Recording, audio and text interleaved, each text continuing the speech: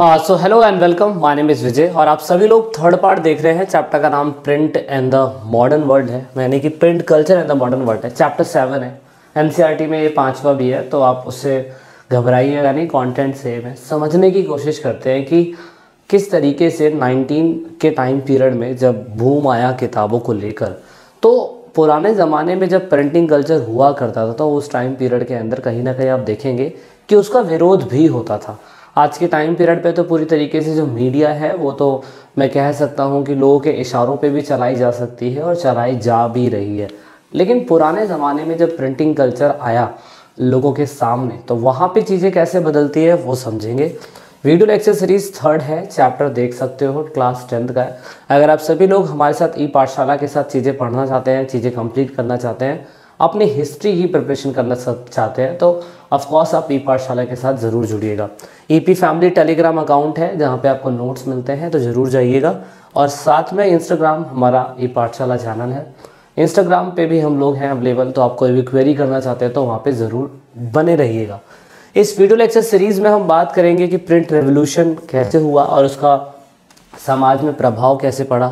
फिर हमने देखना है कि रीडिंग जो नया कल्चर आया रीडिंग पब्लिक आई, पढ़ने वाली जनता आई, उन्होंने किस तरीके से चीज़ों को देखा? जैसे जैसे प्रिंटिंग कल्चर बढ़ता चला गया तो रिलीजियस डिबेट भी बढ़ती चली गई और कहीं ना कहीं हमने प्रिंट का डर भी देखा लोगों के मन में। इसीलिए समाज में प्रिंट और लोगों के अलग अलग भेदभाव या मैं कह सकता हूँ सोच जो थी वो बदलने लग गई। तो ये पूरा सीरीज़ रहेगा इस सेशन के अंदर। आई होप आपने वीडियो के पहले और दूसरे लेक्चर भी देखे होंगे जिससे आपको मदद मिलेगी समझने में कि पूरे चैप्टर के अंदर क्या था।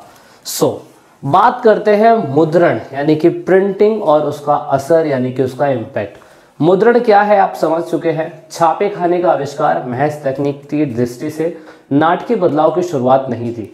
पुस्तक उत्पादन के नए तरीकों ने लोगों की ज़िंदगी बदल दी। इसकी बदौलत सूचना और ज्ञान से संस्था और सत्ता से उनका रिश्ता ही बदल गया। इससे लोक चेतना बदली और बदलाव, बदला बदला चीज़ों को देखने का नज़रिया। समझिए अब। देखिए, जब प्रिंटिंग कल्चर नहीं था ना, जब मुद्रण जैसे हम बोलते हैं, वो नहीं था तो लोगों के सामने कुछ भी चीज़ बोल दी जाती थी। लोगों को लगता था कि वही सच है। क्योंकि धर्म गुरुओं ने यही कहा है और यही चीज़ें जो है पूरे समाज में चलती आई है और यही चीज़ें रहेगी लंबे समय तक। लोगों को पहले ऐसे फील होता था। लेकिन मुद्रण संस्कृति, यानी कि जो आपका प्रिंटिंग कल्चर था, उसने लोगों की समाज को, यानी कि पुस्तक उत्पादन ने, किसने? पुस्तक उत्पादन ने। कहीं ना कहीं अगर आप देखो तो नए तरीके से लोगों को सोचने पे मजबूर करा। नए तरीके से लोग ये देखने लगे कि किस तरीके से समाज जो है चलेगा? या लोगों की ज़िंदगी कैसी थी? लोगों ने हर चीज़ पे विचार करना चालू कर दिया। क्यों? क्योंकि मार्केट में ना पुस्तकों की जो बूम था ना, जो किताबों का बूम था, वो इतना ज़्यादा हो गया, इतनी बड़ी मात्रा में हो गया कि जिसकी कोई गिनती ही नहीं। तो इसीलिए नया पाठन वर्ग सामने आया। लोग पढ़ने वाले जो पब्लिकली थे, सार्वजनिक जगहों पे बैठ के पढ़ा करते थे और नया कल्चर इमर्ज हुआ। प्रिंटिंग प्रेस की वजह से आप कह सकते हैं कि लेबर और टाइम रिड्यूस हुआ। मतलब जहाँ किताबों को लिखने के लिए कॉस्ट ज़्यादा लग रही थी और ऑफ़ बहुत समय ज़्यादा लग रहा था। तो अभी प्रिंटिंग कल्चर से क्या हुआ? क्योंकि हमने इटली में पढ़ लिया था कि उस बंदे ने क्रांति ला दी और कई तीस चालीस सालों तक यही सिस्टम चलता रहा। तो उसकी वजह से मैं कह सकता हूँ कि प्रिंटिंग प्रेस की वजह से किताबें छपनी जो है ज़्यादा मात्रा में चालू हो गई और इसकी वजह से पूरी की पूरी क्या कहते हैं, यहाँ पे ट्रांसलेशन थोड़ी गलत हो गई। किताबों ने बाज़ार में पानी भर दिया। ऐसा नहीं है। इसका मतलब सिंपल सा ये है कि जो किताबें थी वो मार्केट में तैरने लग गई। मतलब इतनी सारी किताब, इतनी सारी किताबें कि लोग पढ़ने के लिए इतने सारे आतुर हो गए। जैसे आज की डेट में मार्केट के अंदर आपने देखा होगा कि कहीं ना कहीं किताबों की जगह आईफोन फ़ोन कैमराज गैजेट ये सारी मात्रा में, बहुत बड़ी मात्रा में प्रेजेंट टाइम पे फैले हुए हैं। ऐसे पुराने ज़माने में अगर आप देखो तो उस टाइम पीरियड में जब किताब आई आई थी तो उसका बुम हो रखा था। कॉमन लोग जो थे common people live in the world of oral culture ज़्यादातर लोग अभी भी ओरल कल्चर की बातें सुनते थे, जैसे एग्ज़ाम्पल के लिए, पुराने ज़माने में ऐसे ऐसे हुआ था, हमारे वहाँ तो ऐसे हुआ था, कक्का जी ने ये कहा था, दादा जी ने ये कहा था, उन्होंने ऐसे किया था। इसमें एक ऐसा राक्षस था, लोग सुनता, सुना करते थे मुँह से और उसी को सच मान लिया करते थे। लेकिन सही मायने में तो ये है कि अभी भी लोग कहीं ना कहीं किताबों पे पूरी तरीके से भरोसा नहीं कर रहे थे। कुछ लोग अमीर वर्ग जिनके पास पैसा था, उन्होंने इन चीज़ों पे भरोसा करना चालू कर दिया था। तो इसीलिए लोग कहीं ना कहीं देख सकते हैं, पवित्र गाथाएँ पढ़ने लग गए, लोग पवित्र ग्रंथ पढ़ने लग गए, लोगों ने पढ़ा, लोगों ने पढ़ाया, लोगों ने सुनाया एक दूसरे को। इवन आप देखें तो पुस्तक जो है लोगों के न्यू कल्चर का हिस्सा बन गया। जहाँ लोग कहीं ना कहीं से आज की डेट में होता है ना, आप सुबह उठते ही आप फ़ोन चला लेते हैं तो फ़ोन स्मार्टफ़ोन जो है, आपकी लाइफ का हिस्सा बन चुका है। ऐसे पुराने ज़माने में अगर उस समय का समय अगर आप देखें तो उस समय किताब, जो रीडिंग करने का तरीका था ना, वो लोगों की लाइफ में कहीं ना कहीं बहुत ज़्यादा इन्वॉल्व हो जाता था। इस, इसीलिए आप कह सकते हैं new reading culture was easy and as literacy rate were very low क्योंकि अफकोर्स जब प्रिंटिंग कल्चर आया होगा ज़्यादातर लोगों को पढ़ना नहीं आता होगा। लेकिन ऑफकोर्स लिटरेसी रेट लो होगा। लेकिन जो लोग पढ़ना जानते होंगे, उन्होंने नई नई किताबें पढ़ी और लोगों के सामने सच बताने की कोशिश करी कि सच क्या है। तो वही चीज़ अगर आप देखें तो प्रिंटिंग की वजह से लोगों ने गाथा, गीतों को छापना चालू करा। लोगों ने चित्र और लोक कथाओं को भी चित्रित करना चालू करा, जो बहुत फ़ेमस है लोगों के बीच में। लोगों ने गाँव की, शहरों की इवन हर तरीके की चीज़ों को लिखा। पढ़ा, देखा और लोगों को मजबूर कराया कि ये बात सच है। इसका रिज़ल्ट क्या हुआ? इसका रिज़ल्ट ये हुआ कि जो मुँह से बोले जाने वाली संस्कृति थी, कहानियों की, जो हम दादा दादी से सुना करते थे, अब वो प्रिंटिंग चीज़ों में आ गई है, जिसकी वजह से मौखिक संस्कृति की जगह मुद्रण संस्कृति, यानी कि प्रिंटिंग कल्चर ने ले ली थी। तो यानी कि प्रिंटिंग कल्चर इतना बूम हो गया कि इसकी वजह से लोगों का जमावड़ा दुकानों में ही लगने लग गया। जैसे आज की डेट में लोग पबजी खेलने के लिए एक साथ दस बारह लोग इकट्ठा हो जाते हैं और गेम खेल रहे होते हैं तो उसी टाइम पीरियड में अगर आप नोटिस करेंगे तो बहुत सारे ग्रुप्स के लोग होते थे और वो आपस में किताबें बैठ के पढ़ा करते थे। सो ये एक तरीका था उस टाइम पीरियड पे। तो the hearing public and the reading public become inter inter in term लिखा हुआ है इसमें और बाकी मतलब एक एक तरीके से आपस में झुल उलझ जाना ऐसा कुछ है। ठीक है? तो कोई नहीं वर्ड पे मत जाइएगा समझने की कोशिश करिएगा कि क्या है ये, ठीक है? उसके बाद नेक्स्ट अगर बात करें क्योंकि किताबें तो इतनी प्रिंट हो गई तो रिलीजियस बहस होने लग गई। रिलीजियस बहस कैसे होने लगी print create the wide circular of idea जो किताब फ्रांस में छपती थी, वो इटली में पहुँचने लगी। जो इटली में छपती थी, वो जर्मन में पहुँचने लगी। तो ऐसे करते करते जो नई नई किताबें थी ना, जो दूसरी जगहों पे भी प्रिंट हो रही होगी, वो किताबें कहीं ना कहीं अगर आप देखें तो वो किताबें भी मार्केट में लोगों के पास पहुँचने लगी।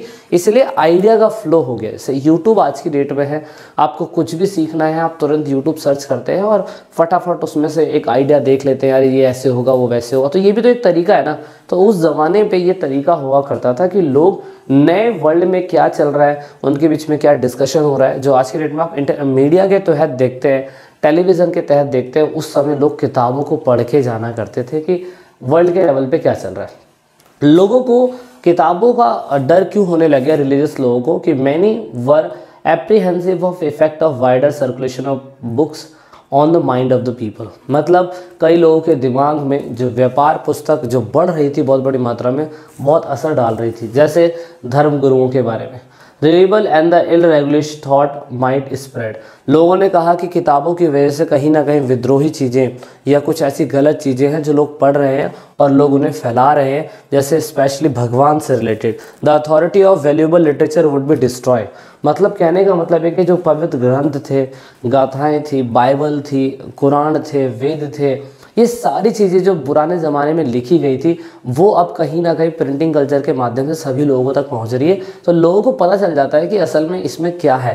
जैसे गीता में लोग कहते हैं कि कृष्ण ने ये कहा था और तुम्हें ये चीज़ माननी ही पड़ेगी। ऐसे बाइबल में ये कहा गया था, तुम्हें ये चीज़ माननी ही पड़ेगी। जैसे कि ओ मूवी के अंदर अगर आपने देखा होगा कि उसने ये चीज़ प्रूफ करके दिखाई कि गीता कुरान बाइबल में ये चीज़ें लिखी हुई है कि भगवान ने ही उनकी दुकान गिराई है। तो ऐसा लोगों को प्रूफ जब होने लग गया, जब कहीं ना कहीं लोगों ने खुद किताबों को पढ़ना चालू करा तो लोगों को समझ में आया कि असल में सच क्या है। तो जो बड़े बड़े धर्म गुरु पंडित हुआ करते थे, उनका ये मानना था कि कोई ऐसा व्यक्ति कौन हो सकता है जो वेदों को प्रिंट करेगा लोगों तक पहुँचा देगा और लोग फिर सच मानने लग जाएँगे। तो ये चीज़ें थोड़ी डिस्कशन वाली थी। तो इसकी वजह से कहीं ना कहीं आप देखो प्रिंट मीडिया का बहुत सारा क्रिटिज़म हुआ कि आपने लोगों तक ये चीज़ें पहुँचा दी। तो ऑफकोर्स लोग मंदिरों के अंदर, मस्जिदों के अंदर चर्च के अंदर जो पादरी कह रहा है कि अगर आपको अपना, क्या कहते हैं दुख कम करना है तो आप आइए डोनेशन करिए। या कुरान में कहा जाता है कि भाई किसी की हिंसा नहीं करनी चाहिए या उसमें ऐसा होता है उसमें वैसा होता है लड़कियों को पढ़ाना नहीं चाहिए कुरान में लिखा है लोग कहते हैं। तो लोगों ने जब खुद पढ़ा ना तो लोगों को समझ में आया कि असल में ऐसा है ही नहीं। तो ये चीज़ें डिस्कशन वाली हो गई और इसकी वजह से आप देखोगे कि कहीं ना कहीं आ, आप यूरोप के अंदर रिलीजियस चीज़ों के ऊपर इंडिया के अंदर बाद में जब प्रिंटिंग कल्चर आया तो उसकी वजह से इंडिया के अंदर भी इसका इम्पैक्ट बहुत बड़ी मात्रा में लोगों ने देखा। लोगों ने देखा कि किताबें प्रिंट होने की वजह से लोगों की लाइफ इफ़ेक्ट हो रही है। एग्ज़ाम्पल के लिए मार्थिन लूटर जो थे, उन्होंने 95 क्या कहते हैं प्रैक्टिसेस और रोमन कैथोलिक चर्च के रिचुअल्स को दिखाने की कोशिश करी। 1815 में धर्म सुधारक थे मार्थिन लूटर उन्होंने बताया कि किस तरीके से जो प्रोटेस्टेंट्स लोग होते हैं चर्च के भीतर विभाजन हुआ और उन्होंने प्रोटेस्टेंट सुधार आंदोलन की शुरुआत करी। क्या था ये प्रोटेस्टेंट्स अगर आपको जानना है तो आप जाइए एनसीईआरटी में नए शब्द को खोजिए और पढ़िए। सोलह शताब्दी के यूरोप में रोमन कैथोलिक चर्च में सुधार का आंदोलन चालू हुआ। मार्टिन लूथर प्रोटेस्टेंट्स सुधारकों में से एक थे। इस आंदोलन ने कैथोलिक ईसाइयों के मत के विरोध में कई धाराएँ निकाली। मतलब ये बंदा कौन है? मार्टिन लूथर ये बताता है कि जो कैथोलिक चर्च वाले लोग हैं, वो किस तरीके से जानबूझ के बाइबल की चीज़ों को बता के बोलते रहते हैं कि जी बाइबल में ये लिखा है, बाइबल में वो लिखा है। और तुम्हें ऐसे ही अपने धर्मों को कम करना पड़ मतलब पापों को कम करना पड़ेगा। ये धरती विनाश का कारण तुम इंसान लोग हो। तो ये कैथोलिक चर्च के लोग बताया करते थे। तो उसमें से प्रोटेस्टेंट जो थे, वो कैथोलिक चर्च से अलग हो गए। और ये जो प्रोटेस्टेंट्स था, इसने एक प्रोटेस्टेंट्स आंदोलन चलाया। लोगों को बताया कि किस तरीके से चर्च जो है, गलत आपको बताता रहता है। इसी वजह से मार्टिन लूटर ने क्या करा?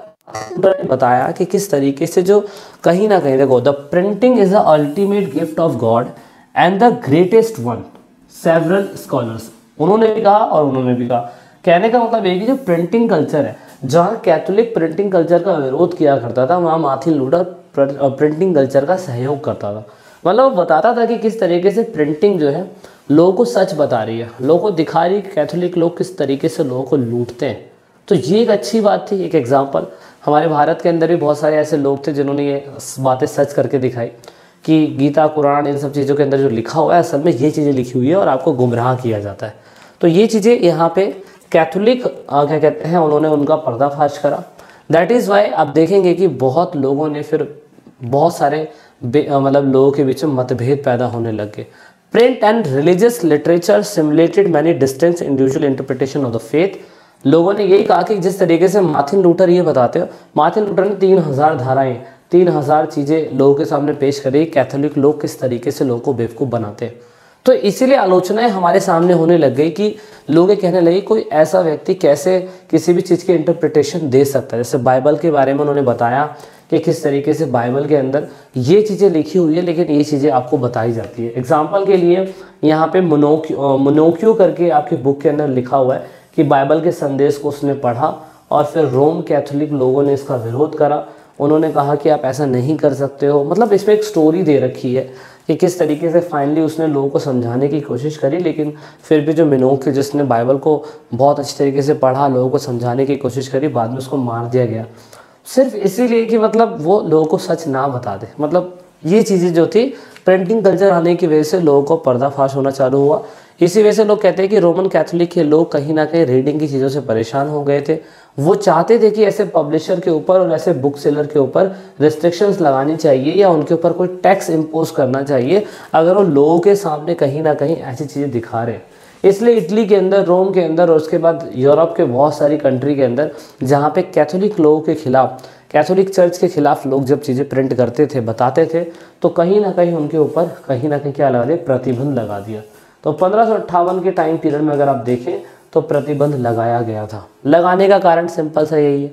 जैसे आज के पत्रकार अगर सरकार के खिलाफ कुछ भी गलत बोलते हैं, जो रूलिंग सरकार होती है, उनका मुँह बंद करने के लिए तुरंत ही उनके ऊपर सेंसरशिप लगा देती है। सेम उस टाइम पीरियड पे जो धर्म गुरु लोग, जिनको लगता है कि हमारा धर्म हमसे कोई छीन लेगा या खतरे में डाल देगा तो ऑफकोर्स उन्होंने भी उनके ऊपर क्या लगा दिया? रेस्ट्रिक्शंस लेकिन आपके पेपर के पॉइंट ऑफ़ व्यू से जो कैथोलिक लोगों का पर्दाफाश करने वाले जो प्रोटेस्टेंट्स आंदोलन चलाए गए थे मार्टिन लूटर के द्वारा, वो आपके लिए बहुत ज़रूरी हो सकता है।